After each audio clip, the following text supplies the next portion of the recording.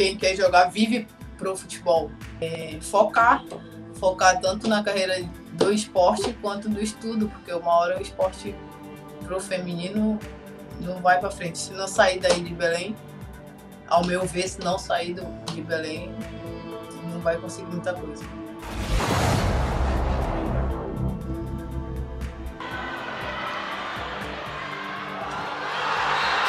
Comecei no SESC com 7 anos, fazendo escolinha mesmo, com 14 anos. Eu comecei a jogar o brasileiro estudantil.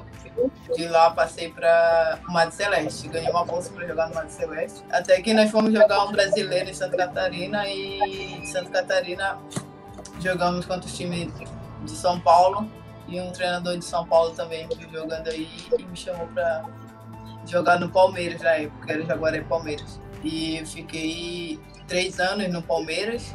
Do Palmeiras acabou lá e eu fiquei em Osasco.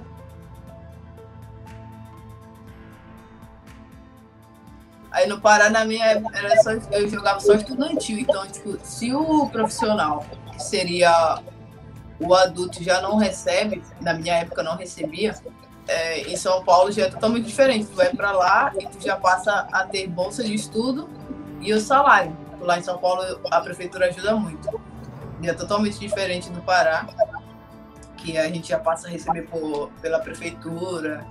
Lá em São Paulo tem os jogos regionais, que são todos os. Todas as cidades disputam esses jogos regionais, são é como se fossem mais Olimpíadas, e é um campeonato muito importante. A prefeitura prioriza muito esse campeonato. Secretaria de Esporte, no tempo que eu estava aí, eu nunca vi apoio de, desse lado. Que lá em São Paulo, se for ver, o, time que eu tava, eu tinha a mesma coisa que aqui, entende? Mas de Belém para São Paulo tava muito longe ainda.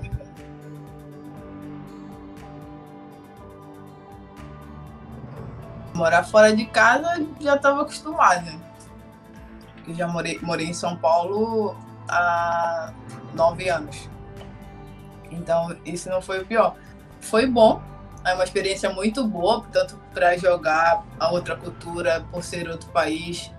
A gente aprende muito e acaba e a gente, se a gente já valorizava a família antes, agora valoriza mais porque a distância não é a mesma coisa de estar no Brasil. Na minha, na minha época é, foi bem difícil, porque, se eu não me engano, eu acho que eu fui uma das primeiras a sair daí, daí do Pará para até mesmo, até de São Paulo eu conheci poucos que já tinham saído. E o conselho que eu dou é que não desista e que se tiver o apoio da família, óbvio que precisa, que vá em frente. Fico muito feliz. Olhando para trás, eu fico muito feliz de ver onde eu cheguei, das coisas que eu passei para chegar aqui e ao mesmo tempo pensando que não melhorou muita coisa, entende? Tipo, para quem está aí no Brasil. Apesar de não, de não ter. Agora que eu estou aqui, eu quero ser campeã espanhol.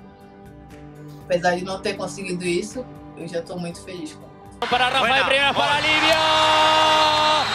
Gol, gol, gol!